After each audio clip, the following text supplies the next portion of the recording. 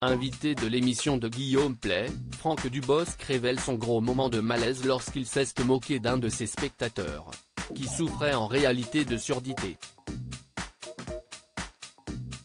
Un souvenir très gênant. Franck Dubosc était l'invité de Guillaume Play, dont l'émission Legend, diffusée sur YouTube.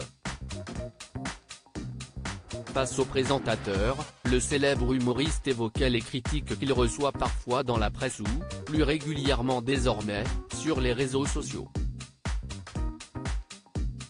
Il remarquait d'ailleurs avoir tendance à se focaliser que sur les commentaires négatifs, ce qu'il trouve regrettable, on est con, mais on est tous comme ça, a-t-il plaisanté, avant d'ajouter, si est comme sûr quand tu es sur scène et que tu ne regardes que le mec qui ne rigole pas. Une réflexion qui lui a rappelé un instant très malaisant qu'il a vécu au cours d'un spectacle. La grosse bourde de Franck Dubosc face à un spectateur ça m'est arrivé une fois avec un mec qui était devant. Et je vois que le mec ne rigole pas, rien. Et là, je me mets à dire, alors, ça ne le fait pas rire lui. Et là, la personne à côté de lui me dit qu'il est sourd, a raconté Franck Dubosc, confus d'avoir commis une telle bourde. Mais non, ce n'est pas possible, a même lâché son intervieweur, surpris par cette regrettable anecdote.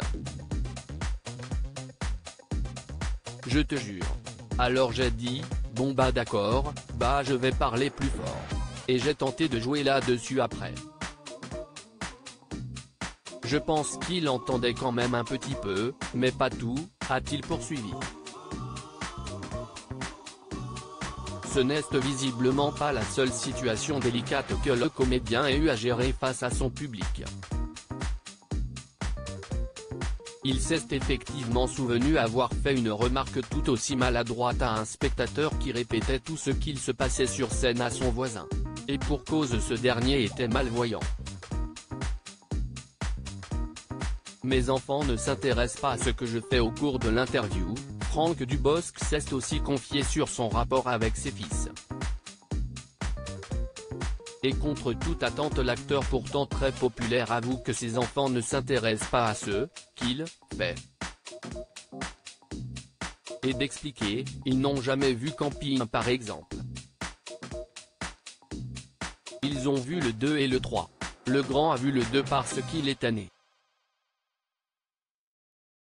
Le petit a vu le 3, sinon non il ne voit pas mes films spécialement. Certains. Parfois ils me disent oui, on l'a vu avec des copains.